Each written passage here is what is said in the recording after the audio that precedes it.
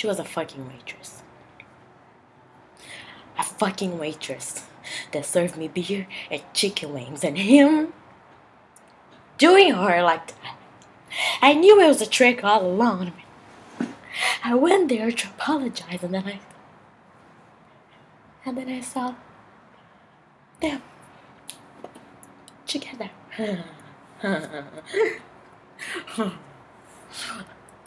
the gun was under the seat of my car. You know the one I got after after Billy Trucker scared me. I don't even remember going for it. I mean, at one point, I was watching them,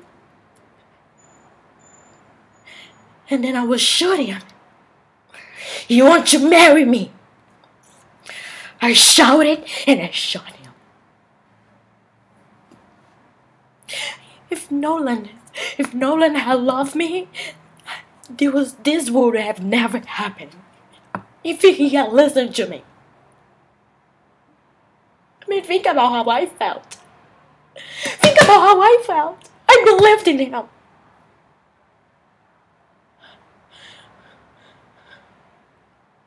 I loved him. And him to do me like that.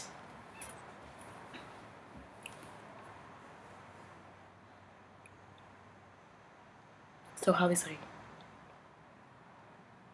Dead yet?